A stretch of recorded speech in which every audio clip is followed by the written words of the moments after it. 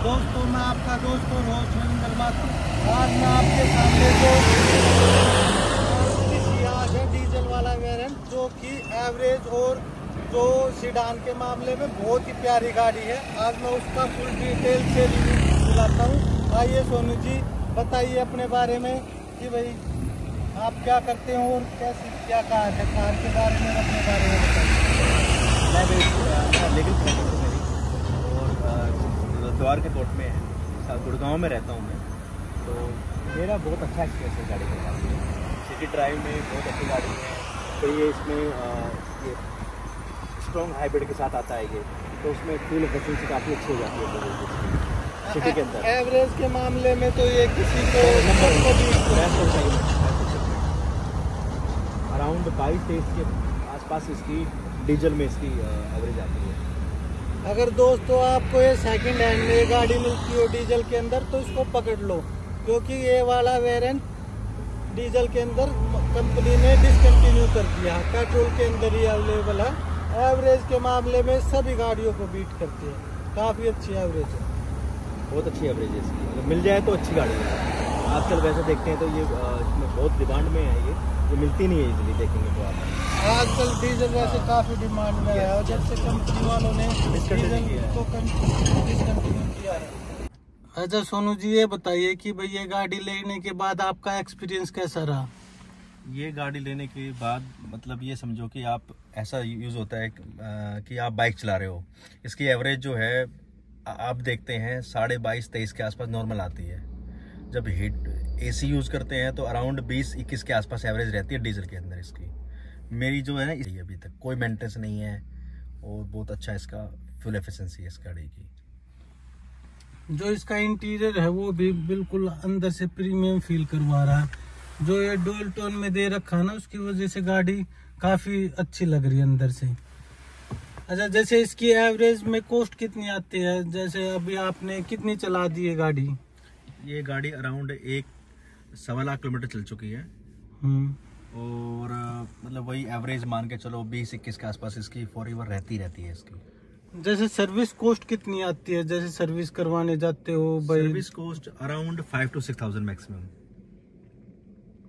अभी तक जैसे आपने भाई ये लाख किलोमीटर चला दी है अभी इसका कोई पार्ट्स वगैरह चेंज करवाया है? और नॉर्मल जो है एक बार क्लिच का वर्क हुआ था टायर वायर जो है नॉर्मल वो है बाकी ऐसा कुछ खास नहीं है। एक दो का काम हुआ है बाकी उसके अलावा कुछ नहीं हुआ इसके अंदर। वैसे भी मारुति की गाड़ियाँ काफ़ी रिलायबल होती हैं जो डेली यूज़ के लिए लोग बाग प्रेफर करते हैं वो मारुति की गाड़ियों को ही करते हैं। बिल्कुल बिल्कुल। और सियाज गाड़ी वैसे काफ़ी अच्छी गाड़ी है। बिल्कुल। अच्छा जैसे इसकी ग्राउंड क्लियरेंस कैसी लगती है? इससे थोड़ी बहुत ऑफ़ रोडिंग की है कि भाई कहीं गए हो कहीं नीचे से तो लगी हो? नॉर्मल वे में मतलब जो है सिटी के अंदर ही ड्राइव की है मैक्सिमम लेकिन सिटी के अंदर तो इसमें ग्राउंड क्लियरेंस की कोई दिक्कत खास नहीं आती है। विलेज एरिया में जाते हैं, कई बार ब्रेकर बहुत ऊँचे बनाते हैं तो दिक्कत आती है अदरवाइज़ ऐसा कोई कोई दिक्कत नहीं आती। हाँ हालाँकि बारिश के मौसम में तो दिक्कत होती है, और वैसे ओवरऑल गुड़गांव में देखा जाए तो जितनी भी जिनका ग्राउंड क्लियरेंस ज़्यादा है, उन गाड़ियों को भी दिक्कत होती है। नॉर्मली वे में मुझे कोई दिक्कत नज़र नहीं आती इसके अंदर ग्राउंड क्लियरेंस का। वैसे गाड़ी का थाई स्पोर्ट भी काफ़ी अच्छा और जो सीटिंग है वो भी काफ़ी अच्छी है काफ़ी कंफर्टेबल गाड़ी है। बिल्कुल बिल्कुल। इस रेंज में ये मतलब ये अपने सेगमेंट में सबसे अच्छी गाड़ी कह सकते हैं इसको। जैसे आपने ये कितने में परचेज की थी? ये अराउंड उस टाइम पे ली थी मैंने साढ़े तेरह लाख के आसपास पड़ी थी मेरे को ये। गाड़ी का रेडियस भी काफ़ी अच्छा थोड़ी सी स्पेस में घूम जाती है गाड़ी। और स्टेयरिंग भी काफ़ी स्मूथ है। इस गाड़ी का पिकअप जो है बहुत फास्ट पिकअप है। अपने सेगमेंट में मतलब इससे ज़्यादा पिकअप नहीं है किसी गाड़ी का। यकीन करना ये साढ़े बारह सौ सीसी का इंजन है साढ़े बारह सौ सीसी का इंजन है। काफ़ी पावरफुल इंजन है। बिल्कुल। और अंदर केबिन वाइज बिल्कुल नाम मात्र है। पता भी नहीं लग रहा बिल्कुल साइलेंट केबिन है। और बताइए गाड़ी के अंदर आपको क्या क्या खूबियाँ लगती हैं?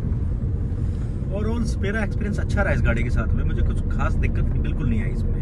ना कोई मेंटेनेंस की है ना कुछ मतलब कुछ रोड पे मेरे को कुछ ऐसा मेरे को मैं बुरा एक्सपीरियंस नहीं है बेसिकली इस गाड़ी के साथ मेरा।